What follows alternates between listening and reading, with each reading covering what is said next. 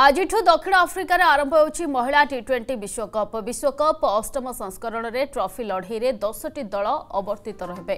ଆଜି ଉଦ୍ଘାଟନୀ ମ୍ୟାଚ୍ରେ ମୁହାଁମୁହିଁ ହେବେ ଦକ୍ଷିଣ ଆଫ୍ରିକା ଓ ଶ୍ରୀଲଙ୍କା ତିନୋଟି venue New Zealand cricket ground Saint George's park এবং বুলান পার্করে ম্যাচ খেলাযিব আসন্তা বার তারিখে বহু প্রতীক্ষিত ভারত ও পাকিস্তান লড়াই হব তেইশ ও চব্বিশ তারিখে সেমিফাইনাল খেলাযিব এবং ছবিশ তারিখ ফাইনাল খেলাযিব গত সংস্করণে অল্পকে টাইটল হাতছড়া করা ভারত এক সন্তুলিত দল নিয়ে দক্ষিণ আফ্রিকা যাত্রা করেছে